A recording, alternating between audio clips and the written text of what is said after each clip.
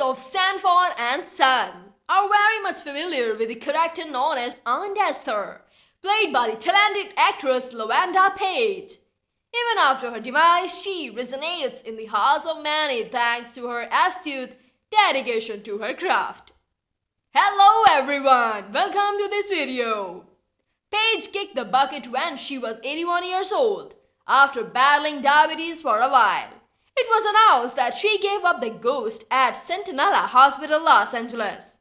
Her outstanding performance in the 70s television hit series Sanford and Son endeared her the hearts of many, including fans and those in the entertainment industry. Sanford and Son drew the curtains after four years on TV, all of which Page was a part of. The veteran actress went on to feature in the series of film productions such as Martin, Friday, Zapped, Detective School, and Big 80 Cats.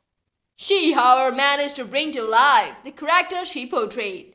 As such, one could say that acting was her true calling.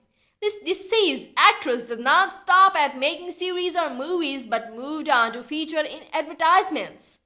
She starred in an Atlanta based Church Fried Chicken TV ad where she played a cow milker.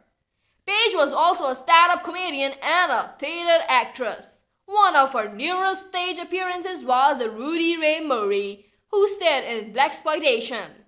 A few years before her death, Page performed on stage in a wheelchair. Her character was a killer hotel manager.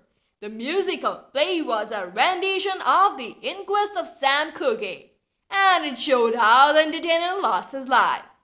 Many remember her as a bronze goddess of fire, as the queen of the comedy, and even Aunt Esther.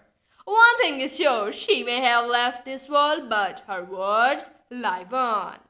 Thanks for watching. Like, share and subscribe.